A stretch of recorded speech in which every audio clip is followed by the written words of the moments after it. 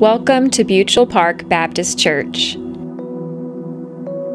We are the body of Christ, an inclusive community of faith rooted in the love of Jesus Christ, growing, serving, and transforming lives.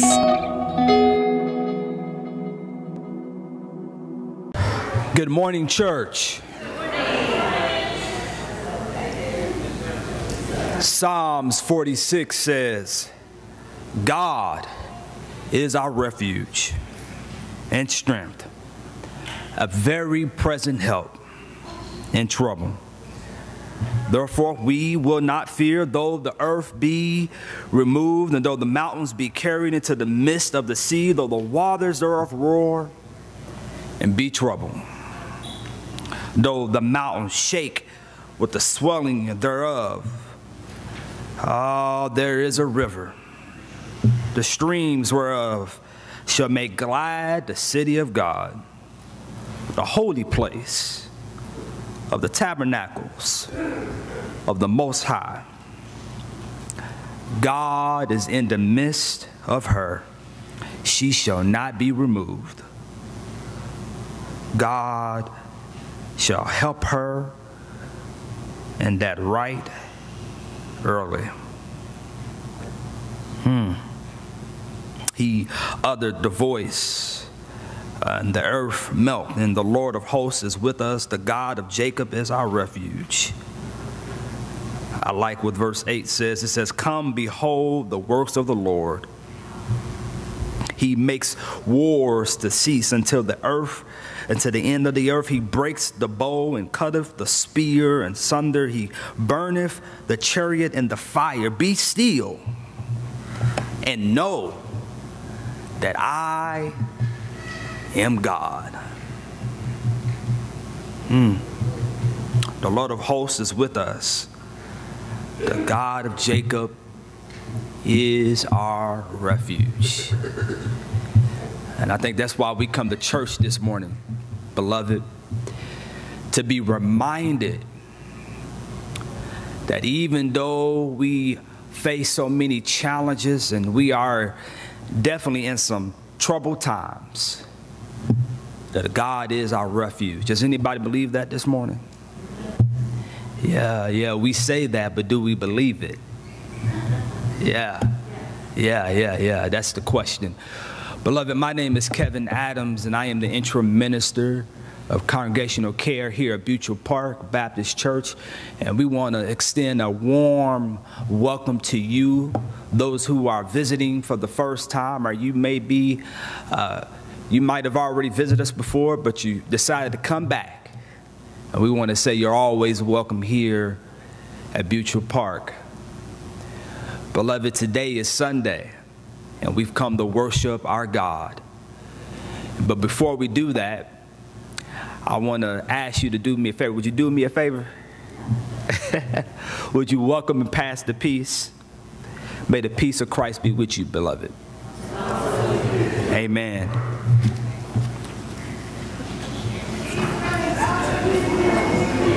A little bit of air.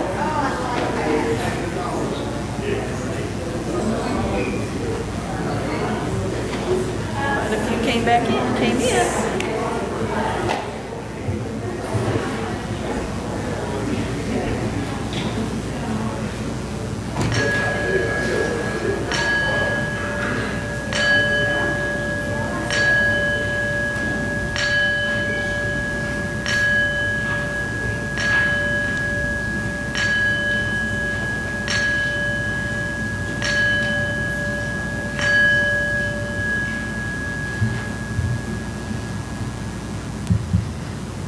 Good morning.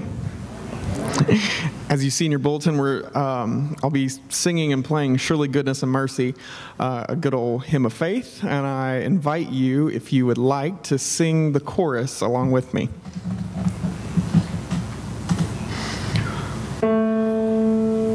Pilgrim was I and a wandering. In the cold night of sin I did roam. Jesus, the kind shepherd, found me. And now I am on my way home. Surely goodness and mercy shall follow me all the days, all the days of my life. Surely goodness and mercy shall follow me all the days, all the days of my life. He restoreth my soul when I'm weary. He giveth me strength day by day. He leads me beside the still waters. He guards me each step of the way. Surely goodness and mercy shall follow me all the days, all the days of my life. Surely goodness and mercy shall follow me all the days, all the days of my life. When I walk through the dark, lonesome valley, my Savior will walk with me there, and safely His great hand will lead mansions He's gone to prepare. Surely goodness and mercy shall follow me all the days, all the days of my life. Surely goodness and mercy shall follow me all the days, all the days of my life. And I shall dwell in the house of the Lord forever, and I shall feast at the table spread for me. Surely goodness and mercy shall follow the days of my life. All the days, all the days of my life.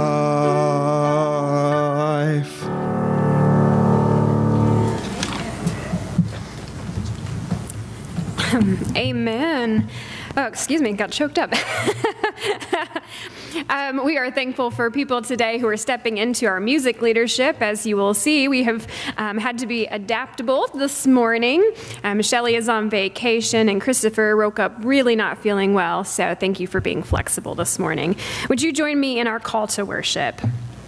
God calls us to service rather than honor. God calls us to love the unknown rather than the familiar. We come to this time of worship trusting in the grace of Jesus Christ, who is the same yesterday, today, and forever. Amen.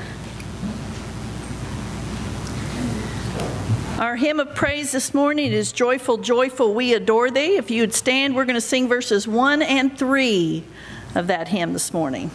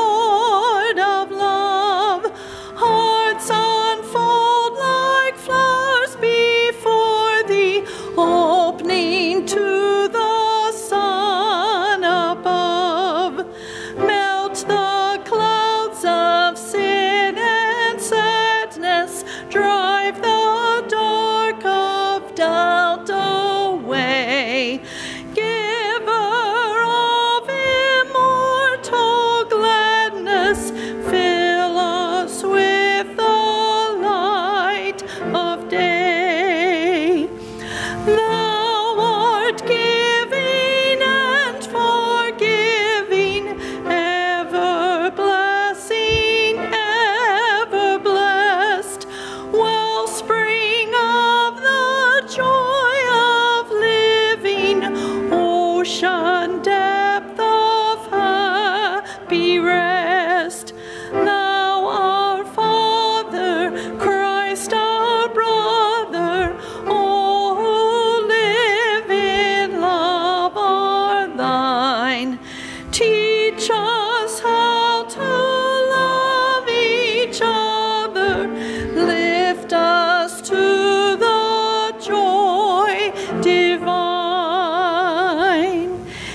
Be seated. The reading is from Hebrews this morning.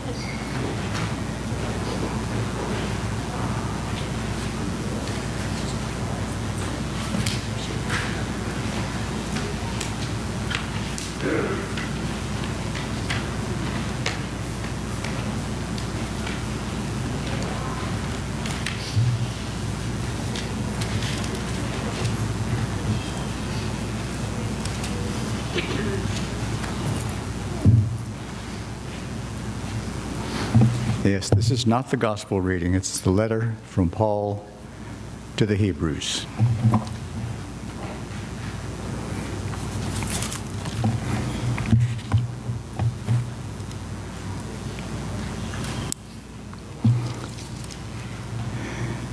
Keep on loving each other as brothers. Do not forget to entertain strangers, for by doing so, some people have entertained angels without knowing it. Remember those in prison, as if you were their fellow prisoners, and those who are mistreated, as if you yourself were suffering. Marriage should be honored by all, and the marriage bed kept pure. For God will judge the adulterer and the sexually immoral. Keep your lives free from love of money and be content with what you have, because God has said, Never will I leave you, never will I forsake you. So we say with confidence, The Lord is my helper. I will not be afraid.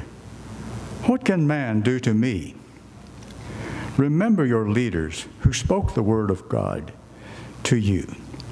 Consider the outcome of their way of life and imitate their faith. Jesus Christ is the same yesterday, today, and for forever. Through Jesus, therefore, let us continually offer to God the sacrifice of praise, the fruit of lips that confess his name. And do not forget to do good and to share with others for such sacrifice please God.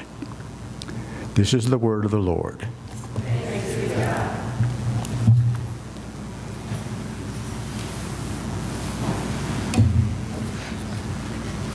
At this time, our children will be going to Godly Play. They will be learning the story of the parable of the sower. Today's teachers are Carrie Bearden and Kaylee Rowleader.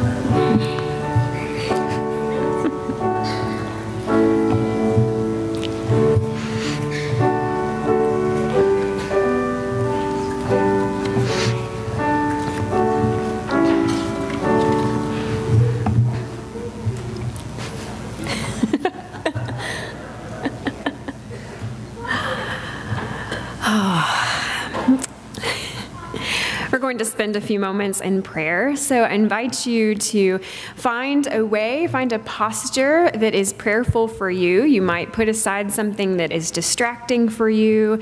Find a way for you to concentrate with your mind and with your body on God's presence in this room. You might choose to close your eyes you might move your legs or arms or wiggle your back into a more comfortable position, whatever feels good and right to you. Take a slow, deep breath.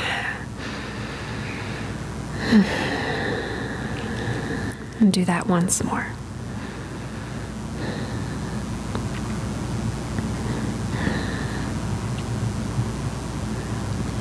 Loving God. You call us to turn to you in prayer, and so we do.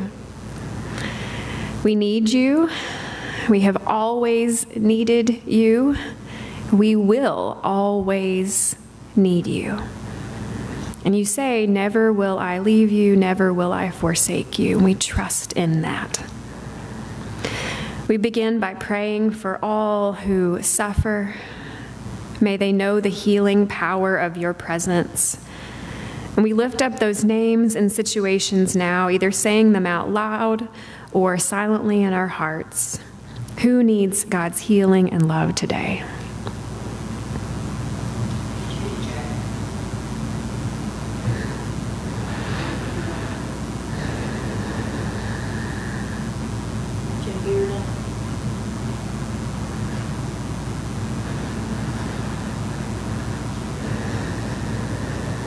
Christopher. Ken Barnett.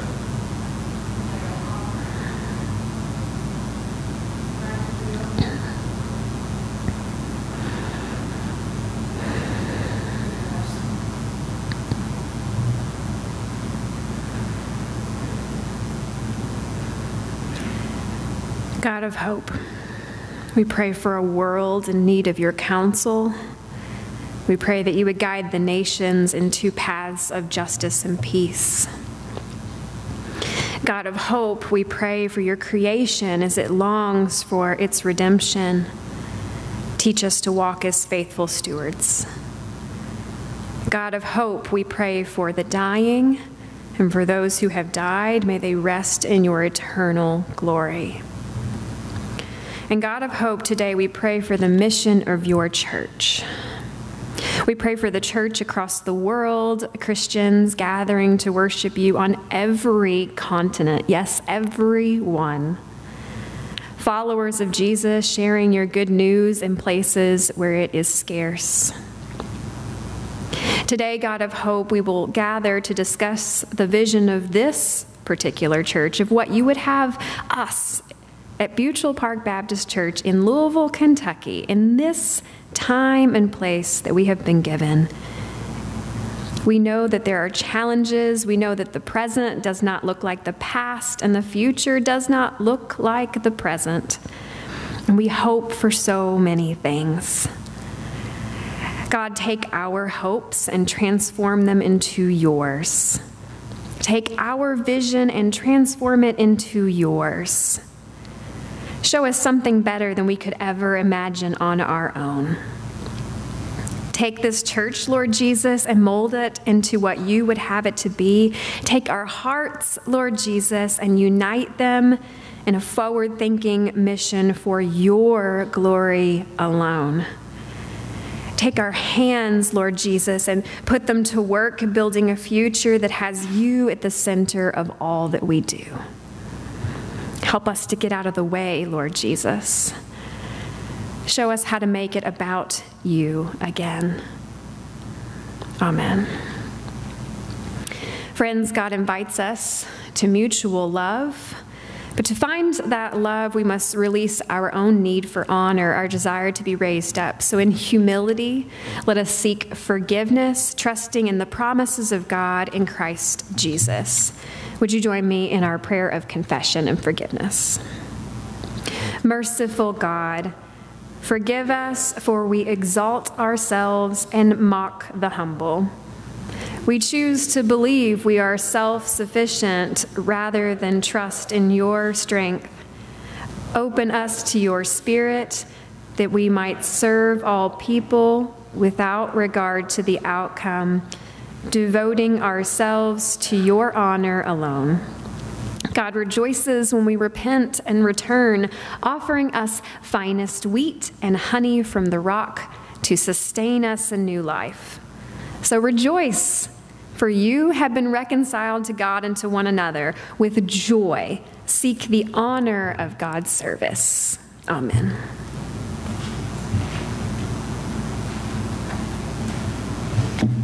Our hymn of prayer is hymn 679. We are going to stand and sing the first and the last verse of that hymn.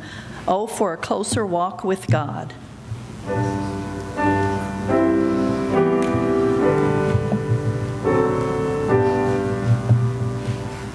Oh, for a closer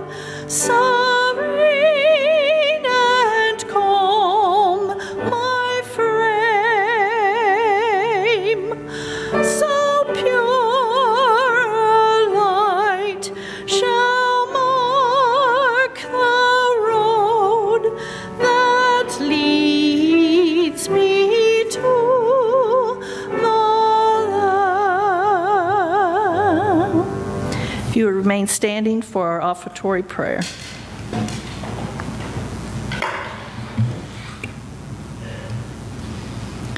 God of grace, we give thanks for your faithfulness to us, for your hope in us.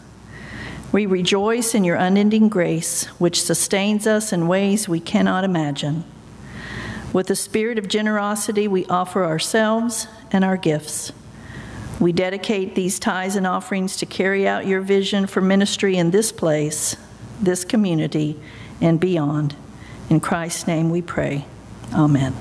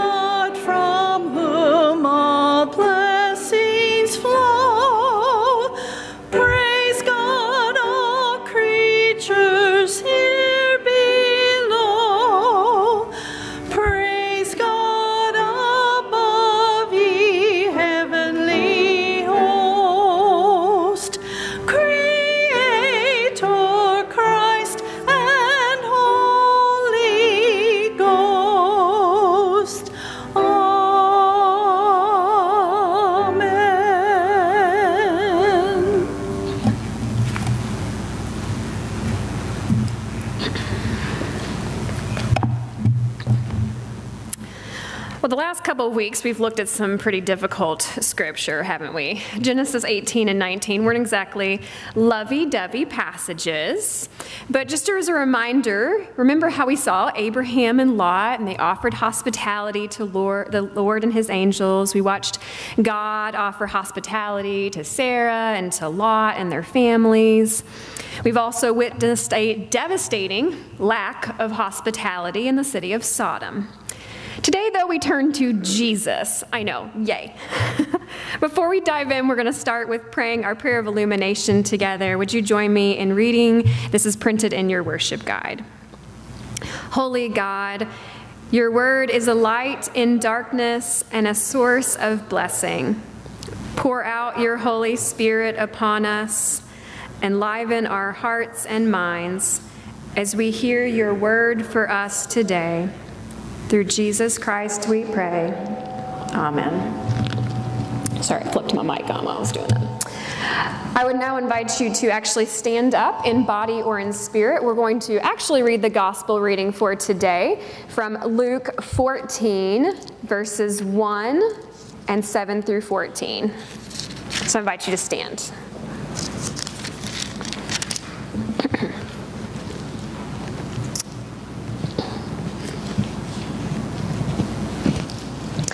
One Sabbath, when Jesus went to eat in the house of a prominent Pharisee, he was being carefully watched. When he noticed how the guests picked the places of honor at the table, he told them this parable. When someone invites you to a wedding feast, do not take the place of honor, for a person more distinguished than you may have been invited. If so, the host who invited both of you will come and say to you, Give this person your seat. Then, humiliated, you will have to take the least important place. But when you are invited, take the lowest place so that when your host comes, he will say to you, Friend, move up to a better place. Then you will be honored in the presence of all the other guests. For all who exalt themselves will be humbled, and those who humble themselves will be exalted. Then Jesus said to his host, When you give a luncheon or a dinner, do not invite your friends, your brothers or sisters, your relatives, or your rich neighbors. If you do, they may invite you back, and so you will be repaid. But when you give a banquet, invite the poor, the crippled, the lame, and the blind, and you will be blessed. Although they cannot repay you, you will be repaid at the resurrection of the righteous. This is the word of our Lord. Thanks be to God. You can have a seat. So, the rules of etiquette and hospitality have changed somewhat over the years. Let me give you an example. In the Victorian era, did you know it would be rude to ask somebody, How are you doing? Rude. Instead, you had to announce, say it like a sentence I hope you're doing well. During the reign of the Tudors, you'd be expected to bring your own knife and spoon to dinner. Did anybody bring theirs today for the lunch? No, no spoons. Well, you better hope there's no soup. And in the 1800s, and surely there are other periods too, laughing or smiling around company was, wait for it, frowned upon. Mm-hmm. There are many strange ways of being well mannered, and in modern times, we've had the benefit of the advice of etiquette professionals such as Miss Manners. Miss Manners has been helping people figure out how to be polite since the 1970s. Today's younger generations might turn to Reddit, crowdsourcing their stories and asking AITA. That stands for Am I the I'll let you guess what the A stands for, and if you really don't know, you can ask me later. Generally, I think people want to be polite, though, don't they? They want to be hospitable and welcoming and inviting. We want to understand what's expected of us, and we want to follow the rules. We want our guests to feel prepared for. We want hosts to feel appreciated. And even though the expectations have changed a bit throughout time, in many ways they haven't changed at all. And still, just when people think they have it all figured out, here comes Jesus turning it all upside down again. So the letter begins Dear Mr. Manners, I was invited to a wedding of a good friend of mine. I should also mention that I am a very important person in our community. So naturally, I assumed I'd be at the table marked reserved at the front of the room. I sat down and made myself comfortable, but then others began to join me at the table and gave me odd looks. Finally, the wedding planner came over and told me I had to move. She said, Give this person your seat, it's reserved for the wedding party. I was absolutely humiliated. And not only that, by that time, the only empty seat was in the back corner of the room. Mr. Manners, was I wrong in assuming that I could sit at the reserved table? How do I avoid this happening again in the future? Signed, Guest of Honor. Dear Guest of Honor, I've seen this kind of thing happen before. Once, when I was on my final journey to Jerusalem, I was eating at the house of a prominent Pharisee. The moment I arrived, I noticed how the guests felt entitled to choose the best seats. But picking the places of honor at a table is a bold assumption. If you're wrong, which it sounds like you were, you may very well find yourself being escorted to the least important place. It sounds like you assumed that you were closer to the bridal party than you were.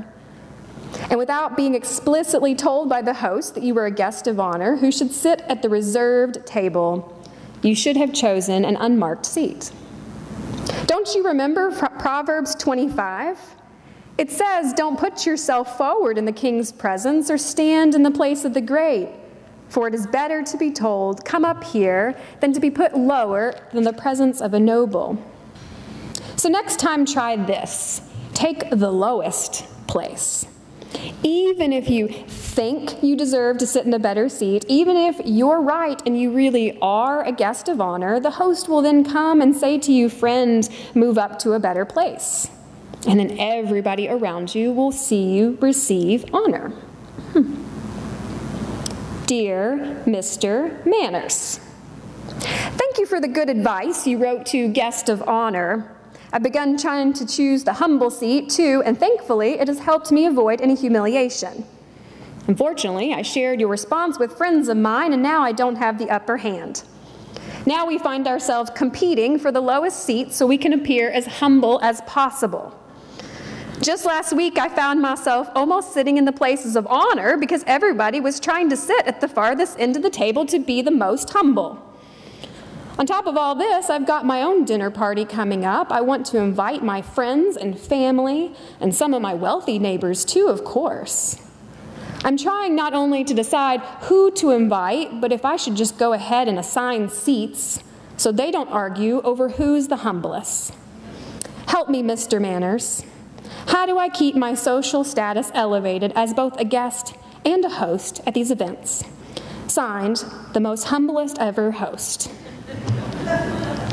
Dear the most humblest ever host. First off, I do wish you would stop calling me Mr. Manners. You know that's not my name. Some have made me out to be an example of how to be a good person, but trust me when I say, if that's what you think, you're missing the point. Unfortunately, it sounds like you've taken my advice and twisted it into a political tactic, or you've watered it down into what it means to be a good person. But remember, this shouldn't be about appearing humble, but actually being humble. So, that dinner party you have coming up, don't invite your friends, family, and your rich neighbors. They're going to want to pay you back. Instead, host a banquet and invite the people who will never be able to pay you back.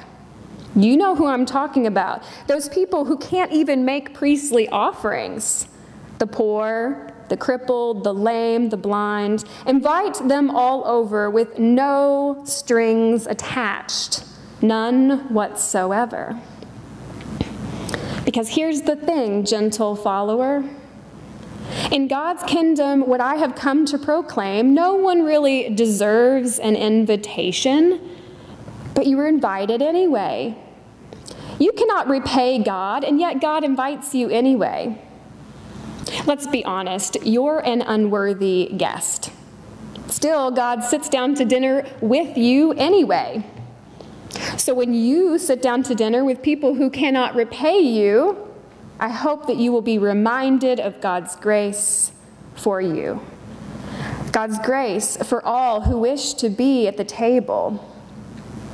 And you not only get an invitation, but my Father welcomes you to join him in the places of honor too. Again, not because you did anything to earn it, not because of the family or the country or the skin you were born in, not because you have money or status or fame, but just because he wants you there with him. Remember, gentle follower, as the Creator, only God gets to tell you what you're worth.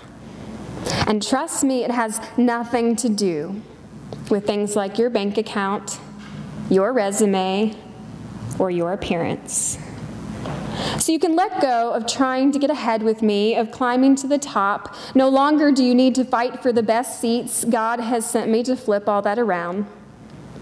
In God's kingdom, all who exalt themselves will be humbled, and all those who truly humble themselves will be exalted. You'll see what I mean soon. I'm on my way, not up, but down. Down to Jerusalem now to show you. I know that you can't fathom what's about to happen, but look at it this way I'm choosing the lowest seat for you. Dear Mr., I, I mean, dear Jesus, I guess I hadn't thought about it like that. I still don't fully understand what you mean, all that about going up and going down, but still, thank you for showing me the way. Thank you for giving me permission to rest in your hope. Thank you for making kingdom hospitality possible for me and for the people around me, too. I'll do my best to be humble, really humble. I'll do my best to send out the invitation in the way that you have freely sent it to me. Signed, always a guest of God. Dear, always a guest of God. Now you're getting it. What an elaborate feast God will put at your table as you pull out a chair for both neighbors and strangers. Enjoy the meal. Friends, we have a fresh opportunity each day to see beyond what the world says has value, to peek at God's invitation list. And I've got a spoiler alert you're on it. Other people are on it too. And so this isn't about etiquette. What we do here is not about good manners. It's not even about being a good host or a good guest. It's about God's gracious hospitality that we get to follow, welcoming us to the table, to the feast. And we get to be bearers of that good news. So let's have a seat at the table. Let's look around and see who's missing. Let's hand out invitations to our neighbors and friends and family, and yes, strangers who have nothing to give in return. Nothing. Inviting them all to the greatest dinner party ever the feast of God's gracious and everlasting love. Thanks be to God. Amen. Jesus is more than a Mr. Manners. As fun as it is to read letters like that, Jesus is more than a Mr. Nice Guy. Jesus points us directly to God. Jesus shows us what God's kingdom really looks like. And Jesus really does invite us to the table each and every day. If today that invitation looks like a public decision, professing Jesus as Lord of your life, or joining this church, you are invited to join me at the front as we stand and sing. And as always, you are welcome to speak with any member of our ministry staff or our church family after worship about making your decision and responding in faith. Let us stand and sing this song of response. Amazing grace, how sweet the sound. One, three, and five.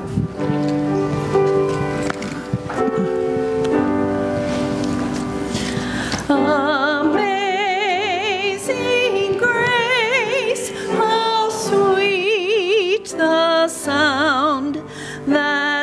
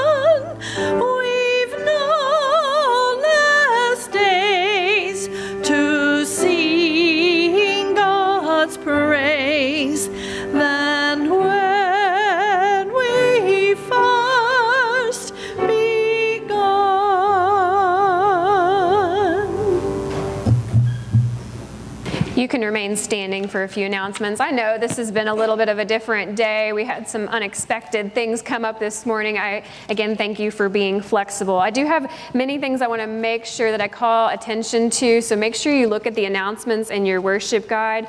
Of course, today we are having our luncheon downstairs in the fellowship hall. Um, all of the kids will meet, but they are meeting in the um, godly play area. And so, parents, if you're picking up, um, you can go down there there, or if you're going to the luncheon, we will walk any of the kids down to the fellowship hall. So if you want to go on downstairs and start getting your food, that's fine, but they will not be going up to the third floor today. Um, so we will have the luncheon. This also includes a called business meeting, and we have a lot to discuss. So even if you forgot to sign up, come join us downstairs. Uh, let's see, next week, okay, we have a couple things important to note, and one of them is not printed. Um, next week, we have a called business meeting. We keep adding adding on to this called business meeting. It'll be after worship. Here, we're voting on the vision and goals, which you'll hear about today, extending the current interim budget until we have a senior pastor in place, the concept budget to determine staffing needs, and a thing that is not printed. We are going to vote, hopefully, we should be voting on a custodian uh, job description as well job description and candidate. Yay. Next week. So we will be voting on all those things at our, at our call business meeting next week. Um, today we have a called business meeting about the gym air conditioning. Um, next week also the youth um, will be going on a field trip to a friend's uh, Baptist church. Uh, this is a church that they met at Passport, so they're having an event um, and we got invited. So they'll be going to that. Parents, uh, you can talk to Carrie or Jackson about that. Um, let's see. Vegetables are being handed out on Wednesdays from 5 4.45 to 5.30. Um, if you would like to pick those up, they're either in the gym or in the back parking lot. Um, you can look for that. Um, and then a big thank you, of course, to Carla and to Peggy and for, to Jackson, especially Peggy, who got a call at 7.30 this morning and we asked her, can you play the piano? thank you so much for filling in on music. Is there anything I missed? There was a lot going on today, so I wanted to make sure I got all the announcements in. Um, look at your announcements. There's quite a few things coming up. Pay attention to those things. We want to make sure everybody is on board and a part of those discussions. Um, I'm going to do the benediction. We invite you to go down to the fellowship hall and go ahead and get food as soon as the hospitality team is ready for that. And we will say a prayer together um, after everybody has been seated. For now, hear this benediction. God graces us with abundance and inspires us to be generous. Now go into the world confident in the Lord's provision, seeking those who are the stranger and providing for those who cannot repay you. And may the God of mercy take you to unexpected places. May the God of humility teach you to serve without pride. May the God of wisdom inspire your work in the kingdom. And the blessing of God, Creator, Redeemer, and Sanctifier, be with you now and always. Let us say our mission statement together now as we go. We are an inclusive community of faith rooted in the love of Jesus Christ, growing, serving, and transforming lives. Go in peace, friends. We welcome you, your family, and your friends to participate in the life of our community. Join us in participating in God's mission through service to our neighbors near and far. Come join us for Bible studies on Sundays and Thursdays. Subscribe to our emails and our newsletter mailouts. Get involved in our diverse music ministries. Engage your families in our wonderful children and youth ministries. We want you to be invested. We want you to be connected. Here at Buechel Park Baptist Church, we are an inclusive community of faith rooted in the love of Jesus Christ, growing, serving, and transforming lives.